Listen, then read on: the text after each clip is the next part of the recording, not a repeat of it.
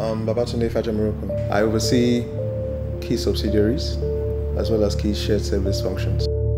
One of the key things for AIICO is looking at all key stakeholders. One, treating our customers fairly and providing the kind of products that they require, providing a platform for shareholders to invest and get returns in terms of share price as well as dividends.